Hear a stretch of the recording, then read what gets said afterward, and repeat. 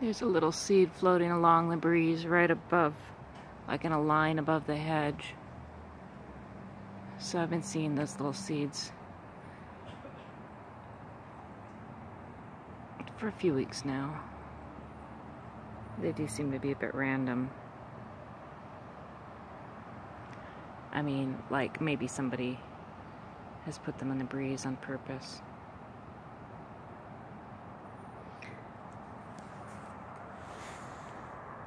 Also, I can tell that they can knock leaves out of trees and nuts out of trees and things like that with directed energy.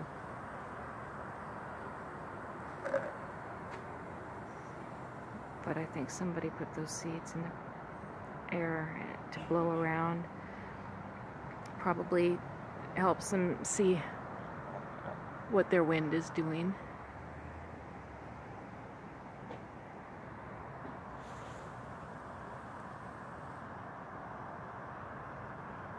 The